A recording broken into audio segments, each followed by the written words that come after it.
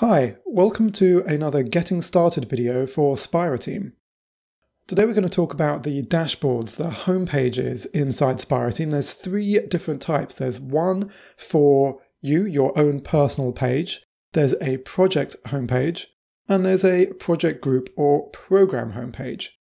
Now, when you first log in for the first time, certainly on a brand new install, you may well be logged in as system administrator. But even if you're a brand new user and you're your company is just getting started using the system, your main page may look something like this. It's going to look pretty empty because things have not yet been assigned to you. Once your company's been using it for a while, it might look a little bit more like this. Here we see Fred's homepage, and you can see he is busy and, well, I'm glad to say my homepage does not look as busy as Fred's does. He's got an awful lot of things he has been assigned to do. So let's take a quick run through of what this page is showing us. So here we have the projects that Fred has been assigned to. He's working on three, all three projects actually in this sample system. There's also this cool quick launch bar where you can quickly create an incident in any project you like just by selecting a project and clicking the plus button. There are other ways of creating incidents really quickly in the system, and we'll have another video explaining that in this playlist.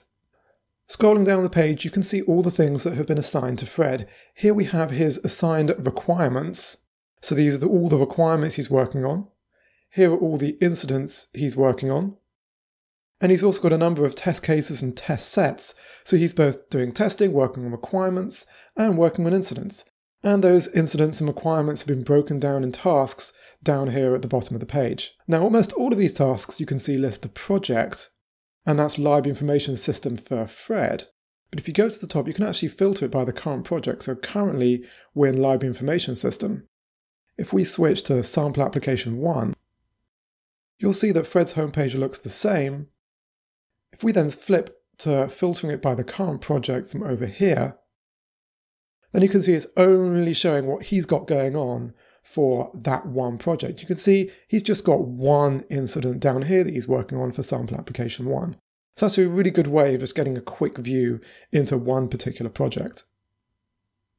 Let's now switch to the project homepage, and this will look the same no matter who's viewing it as long as they have access to the project in full. Here you can see we also have lots of widgets on the left and right hand side showing lots of useful information about the project as a whole we can see information about issues and risks, how testing is going, progress against releases, progress against incidents, and you can see a chart. Here we're showing a burn down, but you can change that to actually show a burn up, a velocity chart, or a coverage chart. And just really quick, just to click that button, and you're seeing different information, and you can do exactly the same with tasks down here. This is a really good way of getting a quick view into exactly what's going on for your project.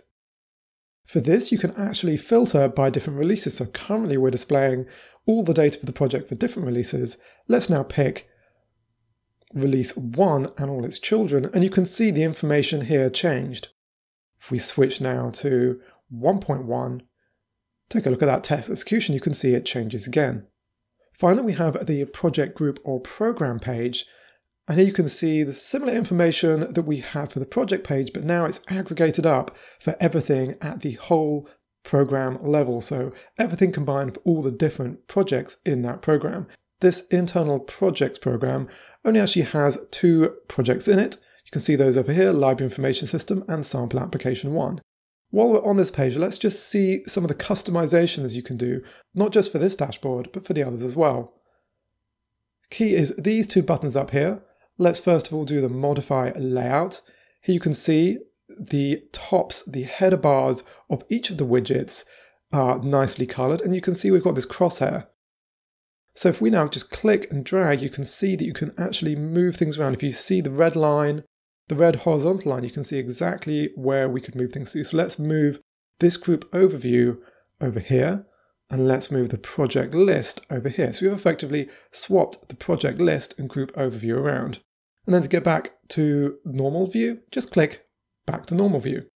You can also add items. You click this button and you can see which things have been closed or other items that are available. Let's add top open issues and we're going to add it to the left hand side. And you can see that immediately got added right to the top of the screen. If you wanted to move that, again, click on Modify Layout Settings, and then you could move it to wherever you like. I finally just wanted to show you that all of these dashboards, and here we're just looking at the project dashboard for Library Information System, all of them work really well on mobile. This is a smartphone, and you can see, you can just see absolutely everything, really nicely designed. So we find this really helpful in the office to just, while you're on your commute, open up your phone, take a look at the home pages and see what's been assigned, what you've got outstanding, and what issues are going on in your projects or for your programs. If you found this video helpful, please give it a thumbs up so we know to make more videos like this. Also, please feel free to leave a comment to let me know what you think about our dashboards. I'd love to hear from you. And if you'd like to stay up to date with the latest hints, tips, and tricks for SpiraTeam and other Inflectra products, please feel free to subscribe. Thanks for watching.